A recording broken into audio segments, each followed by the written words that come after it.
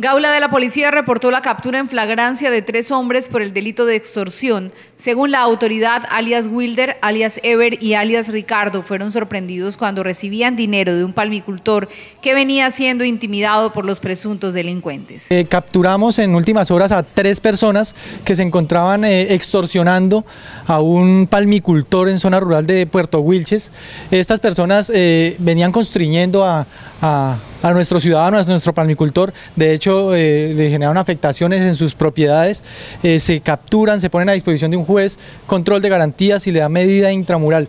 Esto en ofensiva contra la extorsión y aplicando el, el que la hace la paga seguridad con legalidad que genera nuestro gobierno nacional. Los hechos se registraron en Sabana de Torres luego de realizar seguimiento a la situación tras denuncias de llamadas intimidantes y amenazas que según la víctima le venían realizando. Esta era una investigación que teníamos de más de seis meses que le estábamos haciendo seguimiento a esta, a esta banda delincuencial, eh, la cual logramos desarticular eh, capturando a estos tres individuos que eran los que venían amenazando a nuestro ciudadano eh, con no quitarle la vida, sino accedía a las exigencias. Las personas fueron puestas a disposición del juez control de garantías, el cual ante la gravedad de los hechos les decretó medida de aseguramiento intramural.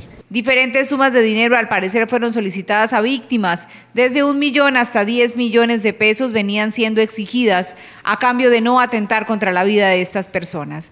Los capturados de 26, 27 y 30 años de edad fueron puestos a disposición de la autoridad competente.